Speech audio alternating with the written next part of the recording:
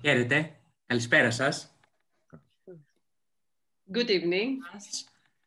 Θα ήθελα να καλωσορίσω όλους τους παρευρισκομένους στην παρουσίασή μου. Είναι ιδιαίτερη τιμή που νιώθω συμμετέχοντας στο Visiting Artist Program του Harvard University's Center for Hellenic Studies και επίσης θα ήθελα να εκφράσω τη χαρά μου και το πόσο τυχερός αισθάνομαι που εν μέσω μιας τόσο δύσκολης συγκυρίας για όλο τον πλανήτη μου δίνεται η δυνατότητα να γίνομαι κοινωνός του έργου ξεχωριστών καλλιτεχνών.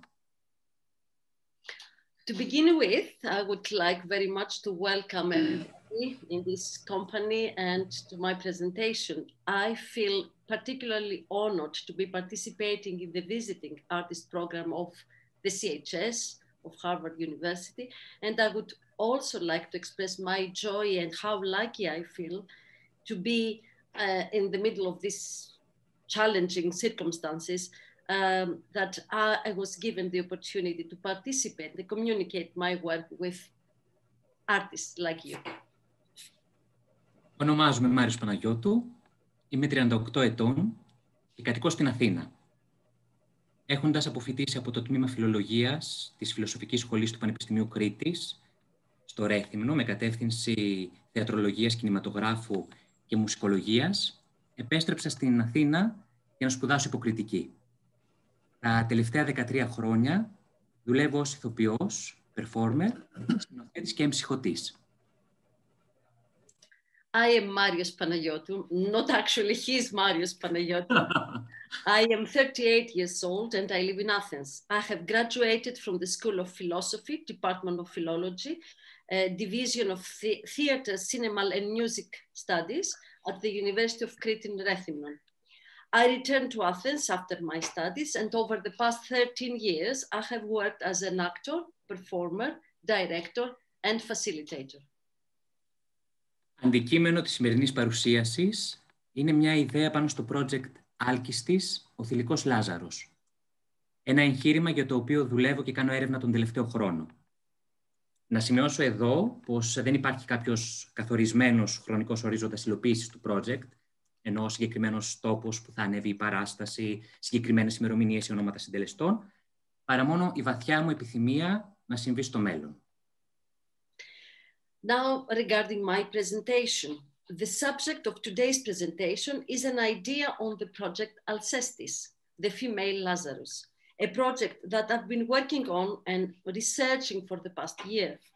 At this point, I would like to note that there is not any particular time frame for the staging of the project or the actualization of the project. I mean, there is not particular place or time that the play will be staged, uh, no dates or names of the cast. Only I can state now that I have only this deep desire to see this project happen in the future.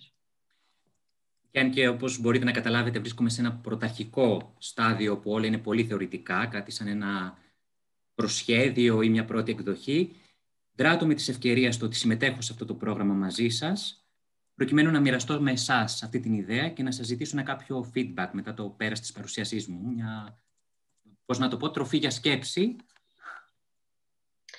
And even though, as you can tell, I'm in at a very early stage of my project, where everything is still very theoretical, something like a first draft or a first version, an early version of the project, I take this opportunity of participating in this program with you in order to share this idea with you and to ask you for some feedback at the end of my presentation. Something like, how can I say that? This, I would like, I give it as a food for thought.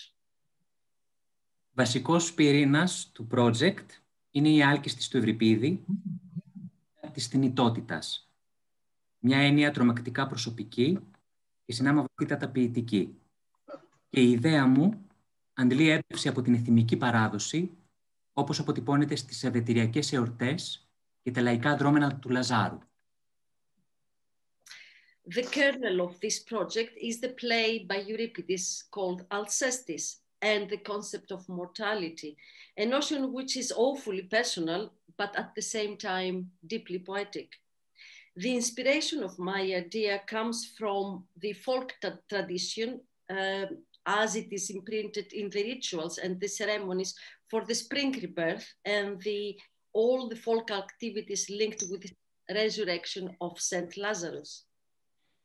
Θα επανέλθω φυσικά στην ιδέα μου. Ε, πρώτα όμως θέλω να σταθώ στην ε, ιδιότητά μου ως εμψυχωτή. I will go back to my idea, of course, but firstly, I would like to dwell upon my identity as a facilitator. Για μια τετραετία είχα αναλάβει ως υπεύθυνο θεατρικών εργαστηρίων και σκηνοθέτης τη φοιτητική ερασιτεχνική θεατρική ομάδα του Παντίου Πανεπιστημίου Κοινωνικών και Πολιτικών Επιστημών. Για τέσσερα χρόνια δούλευα με φοιτητές ηλικίας 18 έως 24 ετών, νεαροί ενήλικες, εκ των οποίων κάποιοι έβλεπαν τη συμμετοχή τους σε μια φοιτητική ομάδα θεάτρου μόνο ως χόμπι, ως κάτι καθαρά ερασιτεχνικό, και άλλοι επίδοξοι επαγγελματίες ηθοποιοί, που η συμμετοχή τους ήταν για αυτούς ένα βήμα πριν δώσουν εξετάσεις για δραματική σχολή. For four years, as a director, facilitator, and performance workshop leader, I had taken the reins of the students' amateur theatrical team of the Pantheon University of Social and Political Sciences in Athens. For four years, I worked with students aged 18 to 24 years old, young adults who, some of them participated in the university uh, theatrical team as a hobby, but some others were sort of aspiring professional actors and their participation was a step right before applying to join a drama school. Τα παιδιά αυτά ε, καλούνταν υπό την καθοδήγησή μου και με εργαλεία πρωτίστως το σώμα, την αναπνοή και τη φωνή τους να ενεργοποιήσουν τις αισθήσεις τους και τα εκφραστικά τους μέσα, να έρθουν σε επαφή με τη δική τους προσωπική, ξεχωριστή φαντασία. Those students were asked under my guidance and with tools such as their bodies, their breath, their voices to activate their senses and their expressive means to be in touch with their own personal unique imagination. Παράλληλα, μέσα από θεατρικές τεχνικές όπως αυτές του θεατρικού παιχνιδιού, του αυτοσχεδιασμού, του θεάτρου της επινόησης και της δραματοποίησης, προχωρούσαμε στη σκηνική πραγμάτωση του θεατρικού έργου που είχαμε επιλέξει την εκάστοτε χρονιά. Meanwhile, through theater techniques such as theatrical games, improvisation, theater of invention, and dramatization, we moved on to the actual staging of the play that we have chosen each year. Trikimia to William Shakespeare. The Tempest by William Shakespeare.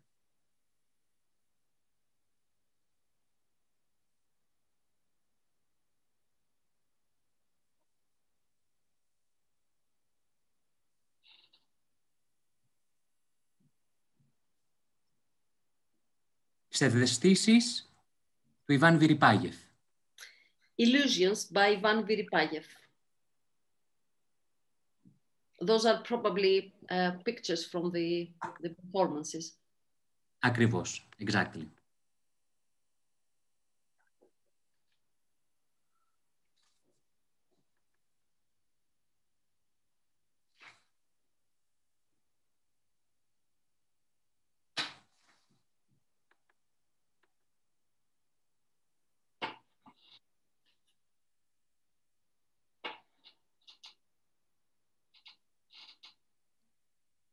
Υπό έλεγχο του Φρεντερίκ Σοντάγ.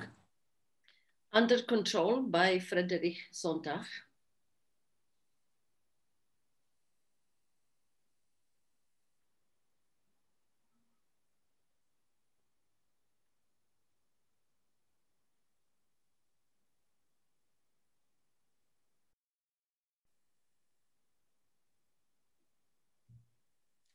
Σεισμοί στο Λονδίνο του Μάικ Μπάρτλετ. Earthquakes in London by Mike Bartlett.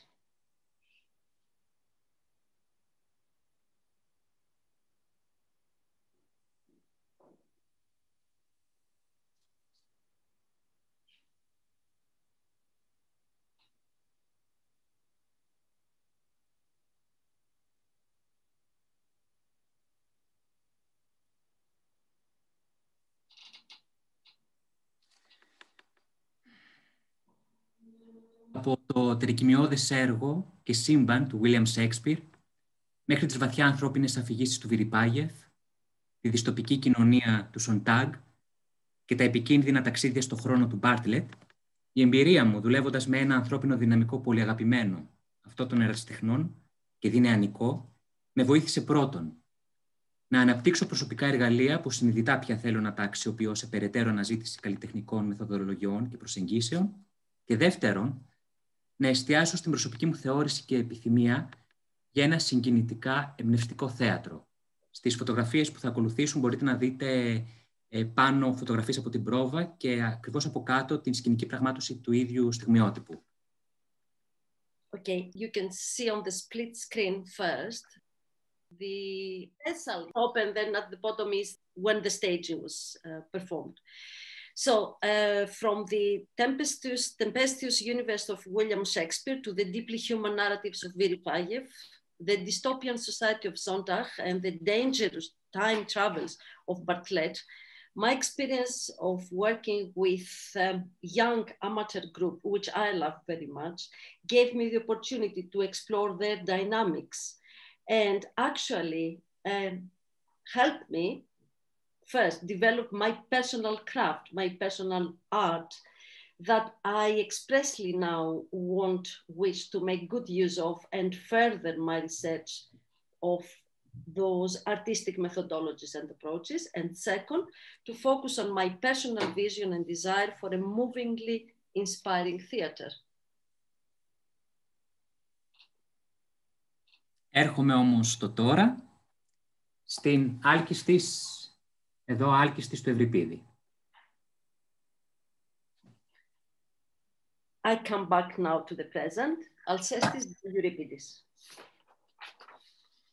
Ο μύθος του θανάτου, ως πράξης αυτοθυσίας μιας γυναίκας προς χάρη του συζύγου της και η μετέπειτα επαναφορά της στη ζωή, έχει αποτελέσει σημείο αναφοράς και πηγή έμπνευσης ανά τους αιώνες από το Συμπόσιον του Πλάτωνα μέχρι το Αρχιπέλαγος του Μάσιμο Κατσιάρη, από την όπερα Αλσές του Γκλουκ μέχρι το ποίημα Άλκεστης του Ρίλκε, από το χειμωνιάτικο παραμύθι του William Shakespeare και το cocktail party του T.S. Eliot, μέχρι την περιγραφή εικόνας του Χάινερ Müller. The myth of death as an act of self-sacrifice of a woman for her husband and her subsequent resurrection has constituted a point of reference and a source of inspiration for centuries, from Plato's Symposium to Massimo Cacciari's Archipelago, from Gluck's opera Alceste to the poem Alcestis of Rainer Maria Rilke, from William Shakespeare's The, uh, the Winter's Tale and T.S. Eliot's The Cocktail Party to Henry Miller's Explosion of a Memory, Description of a Picture. Η άλκηστη του Ευρυπίδη το πρώτο χρονολογικά σωζόμενο έργο του ποιητή, το οποίο κιόλας πρωτοπαρουσιάστηκε ως το τέταρτο της καθιερωμένης τετραλογίας, στη θέση δηλαδή που κατήχε το σατυρικό δράμα, κινείται στην περιοχή του Ανίκιου και μιας βαθιά υπαρξιακής απορίας για τον σύγχρονο δημιουργό, που καλείται να αποδώσει σκηνικά τον ποιητικό λόγο. Ένα λόγο παραμυθίας που αφορά στην ίδια τη ζωή και στη σημασία του να είναι κανείς άνθρωπος. Ένας θνητός φύση προορισμένος να πεθάνει. Euripides Alcestis, the first extant play of the poet, which was also presented as the fourth play of the standard tetralogy, the position normally occupied by the satyr play, moves in the area of the unknown and of a deep existential crisis for the contemporary creator, who is called and challenged to bring on stage the poetic diction, a diction of solace, that refers to life itself and the importance of being human, mortal, destined by nature to die. Το παράδοξο στην άλκιστη έγκυται στο γεγονός πως το τέλος είναι ήδη στην αρχή και η αρχή στο τέλος. However, the paradox, the paradox in Alcestis can be found in the fact that the end is already at the beginning and the beginning at the end. Ο θάνατος εμφανίζεται εξ αρχής ως δραματικό πρόσωπο και ολόκληρη η σκηνή διαποτίζεται από την παρουσία του. Death, as a person, appears from the beginning as a dramatic character and the whole stage is permeated by its presence. Μια γυναίκα που εμφανίζεται ετοιμοθάνατη για να πεθάνει λίγο αργότερα πάνω στη σκηνή. Ένα παιδί που θρυνεί την νεκρή του μητέρα. Ένας ηλικιωμένος άντρας που χαίρεται να βλέπει το φως μέχρι σε σχάτων. ένας σύζυγος που ζηλεύει τους πεθαμένους, μια και η ζωή χωρίς το τέρι του από εδώ και πέρα δεν έχει κανένα νόημα. Σκηνές ακραία συμπίκνωσης που φωτίζουν την έννοια της θνητότητας. A woman who appears dying on stage only to die a few moments later, a child that mourns his dead mother, an elderly man who is happy to see the light until his last moments, a husband who is jealous of the dead because from now on life without his partner has no meaning at all, scenes of extreme compression that illuminate the notion of our mortality. Ξεκίνησα τη μελέτη του έργου λίγους μήνες πριν ο Παγκόσμιος Οργανισμός Υγείας κηρύξει πανδημία τον κορονοϊό. Είχα τότε γράψει στο ημερολόγιο πρόβασμου «Τα πάντα έχουν παραλύσει». Καθημερινά μέχρι σήμερα η πανδημία αυτή μας αποκαλύπτει τη θνητή μας ιδιότητα. Στην Ελλάδα, παρά κάποια σημάδια πρώιμης ανάνησης, η τέχνη του θεάτρου έχει σιωπήσει και πενθεί. Η άλκης της, μετά την επάνωδο της στον κόσμο των ζωντανών, θα παραμείνει τρεις ημέρες σιωπηλή. I started studying the play just a few months before the World Health Organization declared COVID-19 as a pandemic. I wrote back then in my rehearsal journal. Everything paralyzes. Every day until now, this pandemic reveals our mortality. In Greece, even though there has been some signs of recovery, the art of theater is silent and in mourning. Alcestis, upon her return to the world of the living, will remain silent for three days. Και συνεχίζω να γράφω στο ημερολόγιό μου. Αναρωτιέμαι πόσο καιρό ο δικός μας κόσμος θα αντέξει αυτή την απόλυτη σιωπή του θανάτου και πώς θα συνεχίσει να ζει. Αναρωτιέμαι με ποιο τρόπο ένας σύγχρονος καλλιτέχνης θα καταπιάνεται με θέματα που αφορούν στο δίπολο ζωή-θάνατος, από εδώ και πέρα που την πλάστιγκα την βαραίνει η απώλεια και το πένθος. Αναρωτιέμαι πώς μπορεί μια σύγχρονη παράσταση αρχαίου δράματος να φανερώσει επί σκηνής την ποίηση της θνητότητας και να αναδείξει την ανθρωπίλα του ποιητικού λόγου. And I continue writing in my journal. I wonder how long our world will bear this absolute silence of death and how it will continue to live. I wonder how the contemporary artist will deal with issues that refer to the life death polarity, now that the scale is tilted by loss and grief. I wonder how can a contemporary performance of an ancient drama reveal on stage the poetry of mortality and bring out the humanness of the poetic diction. Η άλκηστη στο Ευρυπίδη είναι για μένα ένα έργο που κρύβει τόση αθωότητα. Είναι η ανάμνηση μιας εικόνας. Εγώ, παιδί, στη Σάμο, να παίζω μπάλα στην παιδική χαρά απέναντι από το σπίτι μου και να με φωνάζει η γιαγιά μου που μόλις είχε επιστρέψει από μια κηδεία για να μεταΐσει κόλληβα.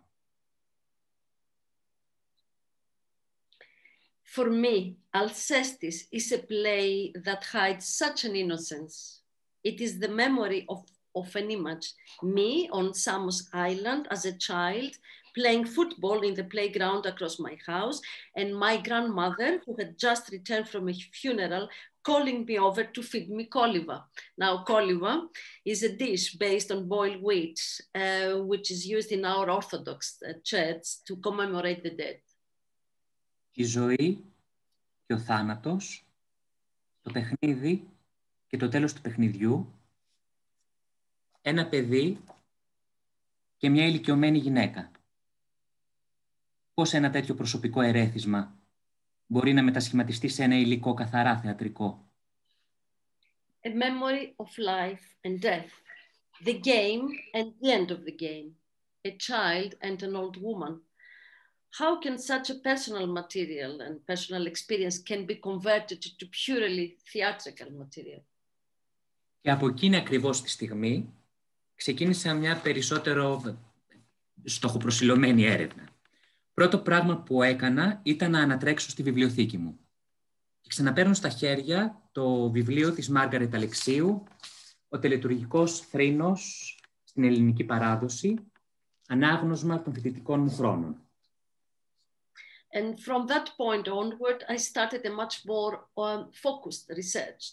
the first thing I did was to go back to my library and I got in my hands the book by Margaret Alexiou, a famous book, The Ritual Lament in Greek Tradition, a reading of my university student years. Η Αλεξίου κάνει αναφορά ήδη από το πρώτο κεφάλαιο στα κόλληβα. Τα περιγράφει ως η πρώτη καρπή της οδιάς μαζί με άλλους ξηρούς και φρέσκους καρπούς. Αποτελούν μέρος των εναγισμάτων, των προσφορών δηλαδή στο νεκρό. Διαδικασία που ακολουθούσε το κόψιμο του βοστρίχου και την προσφορά χωών από τους πενθούντες. Alexiou, already in her first chapter, uh, refers to koliva. She describes koliva as the first fruits of the crops, along with uh, mixed with dried and fresh fruits. They are part of the enagismata, that is, the offerings to the dead.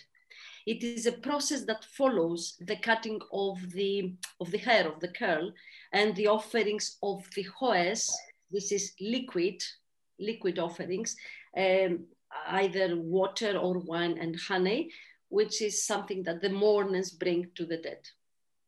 Έτσι, ένα, πώς να το πω, ε, μαγικό, ας χρησιμοποιήσω αυτά τα επίθετα, μαγικό μεταφυσικό άλμα στο χρόνο, γεύτηκα 10 ετών το ενάγισμα της αρχαιότητας.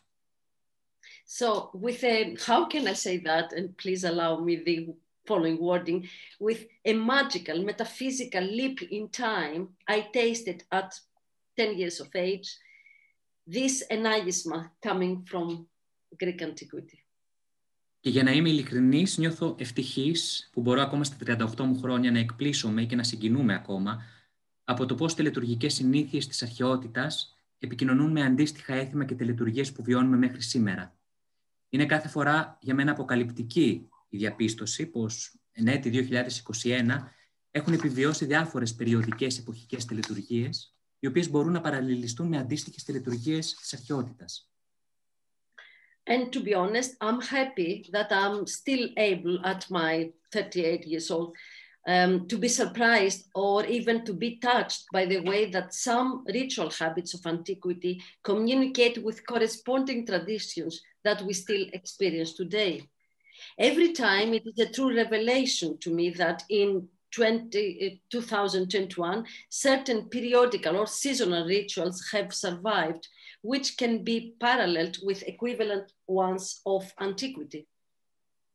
Μια τέτοια μαγική και γονιμική τελετουργία, που σύμφωνα με την Αλεξίου έχει τις ρίζες του σε ευετηριακή τελετουργία παγανιστικού χαρακτήρα, είναι το έθιμο του Ζαφύρι. Στην ορεινή περιοχή Ζαγόρι της Υπήρου, αρχές Μαΐου, κορίτσια και αγόρια παίζουν και εορτάζουν το Ζαφύρι.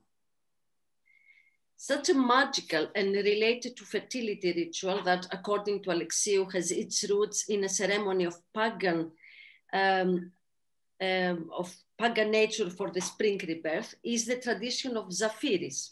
In the mountains area of Zagori in Epirus, uh, at the beginning of May, girls and boys play and celebrate Zafiris.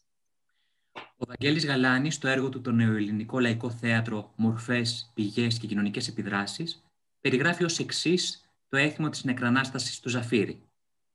Ένα από τα κορίτσια ή ένα αγόρι ξάπλωνε ανάσκελα και έκανε τον πεθαμένο. Τα άλλα κορίτσια το στόλιζαν με φύλλα και λουλούδια και το θρυνούσαν.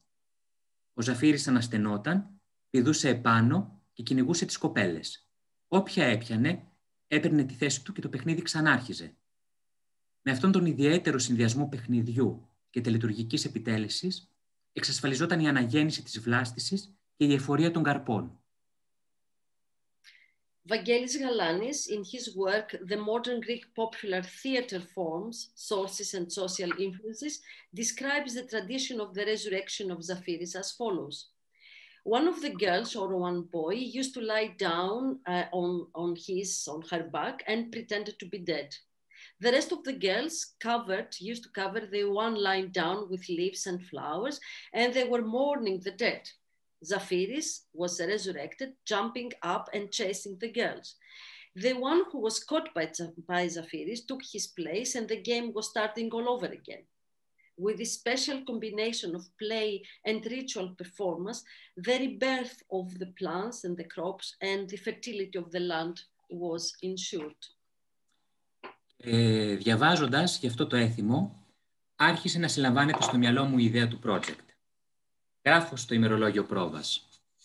Αναστημένη άλκης άγαλμα Ερμιώνη στο σεξπιδικό χειμωνιάτικο παραμύθι, αγαλματάκια ακούνητα, αγέλαστα, αμήλυτα, μέρα ή νύχτα. Δεν ξέρω αν, έχετε, αν γνωρίζετε αυτό το παιχνίδι το παιδικό. Είναι ένα παιχνίδι όπου ένα παιδί τα φυλάει στον τοίχο, χωρίς να βλέπει και λέει την έκφραση «αγαλματάκια ακούνητα, αμήλυτα, αγέλαστα, μέρα ή νύχτα». Τα υπόλοιπα παιδιά όταν απαντάνε νύχτα σημαίνει ότι δεν είναι έτοιμα ακόμα. Οπότε το παιδί που τα φυλάει ξαναρωτάει ε, αγαλματάκια ακούνητα, αγέλαστα, αμήλυτα, μέρα ή νύχτα και όταν το απαντήσουν μέρα, τότε ανοίγει τα μάτια του και επιθεωρεί τα υπόλοιπα παιδιά, τα οποία όσο εκείνος τα φιλούσε, δηλαδή είχε κλειστά τα μάτια του και μέτρα 1, 2, 3, 4, 5, 6, 7, εκείνα κουνιόντουσαν και τον πλησίαζαν, αλλά με το που γυρίσει από τη μεριά τους, τότε αυτά θα πρέπει να υποδηθούν τα αγάλματα.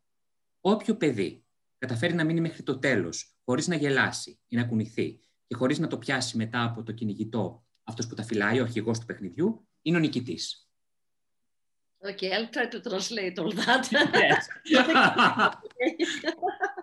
okay, and while reading about this tradition, the idea of my project uh, was started formulated in my head. I'm writing down in my rehearsal journal, resurrected Alcestis, Herm Hermione's statue in the Shakespearean Winter's Tale. Little statues not moving, not laughing, not talking, day or night. This is the, the children's game that Marius was uh, explaining. Now, this is a children's game where one of them is the leader of the game, the curator, which means that he or she is counting until a certain number, which is agreed, uh, while he has or he or she has the back turned to the other players uh, with his eyes closed and he says this, the following words little statues not moving not laughing not talking day or night. When the rest of the children answer night it means that they are not ready yet. So the curator waits and asks asks sorry again um, while he was speaking with his eyes closed, the children are moving and getting closer to him. But as soon as he turns towards them, they have to freeze and take the position of the statue. The one child who goes through the game without laughing or moving or getting caught after being chased by the curator is the winner. Αρχές Απρίλη. Thank you, Effie, for that. That's the best I could, actually. Ευχαριστώ πολύ, Effie. Αρχές Απρίλη του 2020, ε, μέσα στην περίοδο του Χριστιανικού Πάσχα και εν μέσω lockdown εδώ στην Ελλάδα, ε, αποφασίζω να διαβάσω τη μελέτη της Ελένης Ψυχογιού, Μαυριγή και Ελένη, τελετουργίες θανάτου και αναγέννησης, χθόνια μυθολογία, νεκρικά δρόμενα και μυρολόγια στη σύγχρονη Ελλάδα, την οποία, γνώριζα, την οποία μελέτη γνώριζα μόνο αποσπασματικά. And at the beginning of, of April uh, in 2020, during the period of the Orthodox Eastern and in the middle of the first lockdown, I decided to read the study Mavrigi and Helen, Rituals of Death and Rebirth, Chthonic Myths and Laments in Contemporary Greece by Eleni Psychogou, a study that I have known only partially. Σε αυτή την εξαιρετικά πλούσια σε αφηγήσεις, περιγραφές και μαρτυρίες από επιτόπια έρευνα της συγγραφέως μελέτη, στέκομαι στο κεφάλαιο που περιγράφει εαρινά δρόμενα νεκρανάστασης και συγκεκριμένα στη Λαζάρα. Πρόκειται για ένα αγερμικό έθιμο, επίσκεψη σε σπίτια την ημέρα που εορτάζεται ο Λάζαρος, για να τραγουδηθούν κάλαντα και να δοθούν ευχές. Η περιγραφή του δρόμενου, όπως απαντάται σε μια περιοχή της Ετωλοκαρνανίας, είναι μόνο μία από τις πλήστες παραλλαγές αυτού του εθήμου. Uh, in this extremely rich study in narratives, descriptions, and testimonies recorded in field studies by the author, I dwell upon uh, the chapter which describes the spring resurrecting activities, and especially the Lazara. It's a tradition um, that um, uh, involves visiting houses on the day of the celebration of Saint Lazarus in order to sing the carols and give wishes. The description of these traditions, as is, um, as is found in an area of Etolia Akarnania, is just one of the many variations of the traditions. Ένα έθιμο που σύμφωνα με την διδακτορική διατριβή της Λαπρινής Κονταξή οι θυμικές εκδηλώσεις στο χώρο της Βαλκανικής, στο λαϊκό δρόμενο του Λαζάρου, συναντάται στον ελλαδικό χώρο, στην Αλβανία, τη Βουλγαρία, τη Ρουμανία, μέχρι και την Κύπρο. Um, a tradition that, according to the doctoral research of Lambrini Kondaksi, traditional events in the Balkan area, the folk activity of St. Lazarus, can be found in Greece, in Albania, in Bulgaria, in Romania, and even in Cyprus. Οι λεπτομέρειες του τελετουργικού μπορεί να ποικίλουν ανά περιοχές, τονίζεται όμως η ύπαρξη ορισμένων χαρακτηριστικών που εμφανίζονται. Όπως, παραδείγματο χάρη, τα κάλαντα. Το τραγούδι είτε από μια ομάδα κοριτσιών, έφηβες κόρες, ντυμένες με παραδοσιακές στολές, τις αποκαλούμενες λαζαρίνες, είτε από ομάδες ανδρών, που μπορεί να καταλήξει σε ομαδικό, κυκλικό χώρο στην πλατεία του χωριού ή στον αυλόγυρο της εκκλησίας. The details of the ritual might differ from area to area, but there are certain recurrent features that um, uh, can be found, like the following. First, the carols, the singing by a group of girls, teenage girls, called Lazarines, dressed up in traditional costumes, or by a group of men who um, may possibly end up in a circular group dance in the village square or in the church courtyard. Επίσης, συμβολικά αντικείμενα όπως τα ανθοστολισμένα καλάθια που χρησιμοποιούνται ως δοχείο, σύμβολο του τάφου του Λαζάρου, για να συγκεντρωθούν τα αυγά που προσφέρουν οι νοικοκυρές ως φιλοδόρημα, αντιδόρισμα για την επίσκεψη και τις ευχές και οι χρωματιστές βέργες, τα αποκαλούμενα λαζαρόξυλα, σε σχήμα σταυρού, στολισμένα με άνθη, κάτι που απαντάται και στο χωριό της Θεσσαλίας. Okay, lovely things. Now, symbolic objects such as the flower-decorated basket that are, that are used as containers, symbols of the tomb of St. Lazarus, for the collection of the eggs that are offered as a treat, a gift that the uh, the ladies, the house ladies, offered to the children um, as an um, uh, a treat for their visit, and the colored stick sticks called the sticks of Saint Lazarus in the shape of the cross. This is what uh, Marius is showing right now, called the sticks, the sticks of Saint Lazarus in the shape of a cross decorated with flowers, which is found in a village in Thessaly. Το κίτρινο χρώμα ως το χρώμα του νεκρού Λαζάρου που συναντάμε σε κεφαλομάντιλα, σε στολές, ποδιές και στα χρώματα λουλουδιών. Στην Κύπρο, οι άγριες κίτρινες μαργαρίτες, τα, όπως τα λένε τα σημιλούθια, είναι γνωστές ως λαζάρους.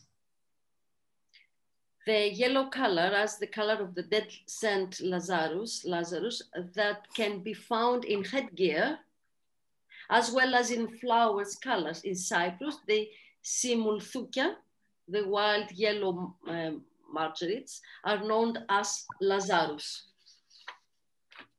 Επίσης, άλλο ένα χαρακτηριστικό που επανεμφανίζεται είναι ε, το δρόμενο της ε, Ανάστασης του Λαζάρου, κατά το οποίο ένα παιδί, το επωνομαζόμενο Λαζαρόπεδο, είναι εξαπλωμένο κάτω, ντυμένο με παραδοσιακή στολή, με μια, ένα συμβολικό κουστούμι και σηκώνεται από το έδαφος.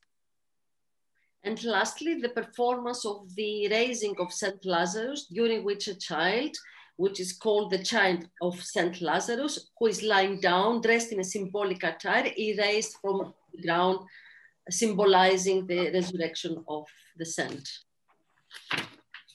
Η έγερση του Λαζάρου, η έγερση του Ζαφύρι, η έγερση της Άλκης της. Τρεις νεκροαναστάσιμες τελετουργίες. The raising of St. Lazarus, the raising of Zaphiris, the raising of Alcestis, three rituals of resurrection. Μία από τη χριστιανική θρησκευτική λατρευτική παράδοση. The first comes from the Christian religious uh, worshiping tradition. Η δεύτερη, βάσει πρωτοχριστιανικών αναστάσιμων δοξασιών. The second is based on the early Christian beliefs of resurrection. Και η τρίτη, το νικητήριο αποτέλεσμα του αγώνα ενός μυθικού ήρωα. And the third, the victorious result of the struggle of a mythical hero. Ή μήπως είναι όλα ένα και το αυτό; Η ανάγκη του ανθρώπου να πιστέψει στην κοινή Ανάσταση, η ανάγκη του ανθρώπου να εξασφαλίσει τους νέους καρπούς της γης του, να μην χάσει τους αγαπημένους του, να αποδεχτεί τη θνητότητά του. Or is it possible that all of them are the same thing, are one and the same thing? The need of, of man to believe in the common resurrection, to ensure the new, new fruits of the, of the earth, not to lose his beloved ones and to accept his own mortality. Η σκηνοθετική μου ματιά πάνω στην άλκιστη έρχεται σαν συνέχεια της εμπειρίας μου και της επιθυμίας να δουλεύω με ομάδες ερασιτεχνικών διαφόρων ηλικιών. Στη σκηνοθεσία μου, η βασική ρόλη του δράματος θα ερμηνευθούν από παιδιά ηλικίας 10 έως 16 ετών, ενώ ο χορός των φεραίων ανδρών θα αντικατασταθεί από μεσήλικες ηθοποιούς, άντρες και γυναίκες. Now, Marius is describing the actual staging uh, what he thinks for his actual staging. My personal point of view as a director on Alcest- of Alcestis comes as a continuation of my experience and my desire to work with amateur uh, groups of different ages, amateur theater group of different ages. In my direction, under my direction, the lead roles will be played by children and teenagers between 10 and 16 years old, while the chorus of the elders of Fere, which is an area in Volos, Magnesia, will be replaced by middle-aged actors, both men and women. Ο Απόλλωνας, ο Θάνατος και ο Ηρακλής, η Άλκιστης, ο Άδμητος και ο Φέρης, οι Υπηρέτες, όλοι τους θα παιχτούν με την αφοβία, την αυθεντικότητα και την αλήθεια που χαρακτηρίζει την παιδική ηλικία. Αντίθετα, η παρουσία του χορού ως καθρέφτη του κόσμου των μεγάλων θα λειτουργήσει αντιστικτικά, φανερώνοντας το θεατή πως πάντα μόρος γάρ απότομος πλάθη.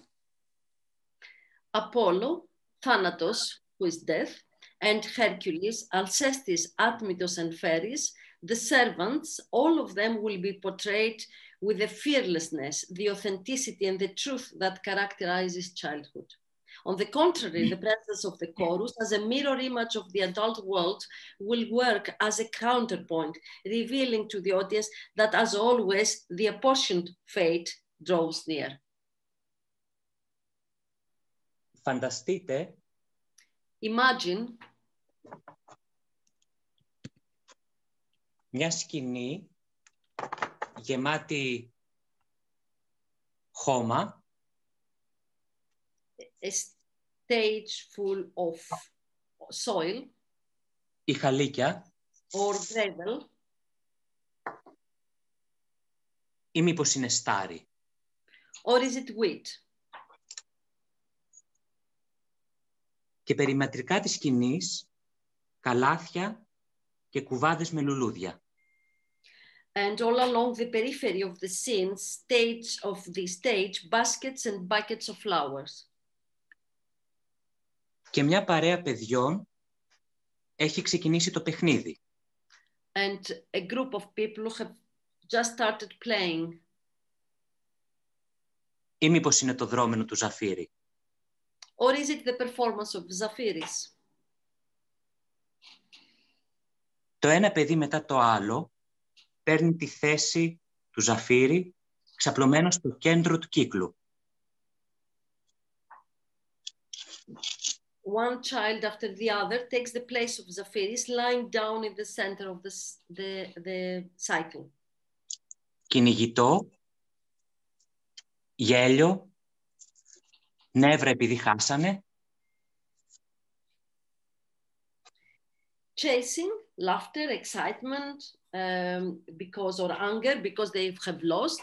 και κάποια στιγμή στο κέντρο ξαπλώνει ένα κορίτσι. And at some point, a girl is the, lying down right in the center. Όσο και αν προσπαθούν οι φίλοι της, το κορίτσι δεν σηκώνεται. No matter how hard her friends try to wake her up, the girl does not stand up. Δεν είναι πια ο Ζαφύρης. This is not Zafiris anymore. Είναι η άλκης της. She's Alcestis.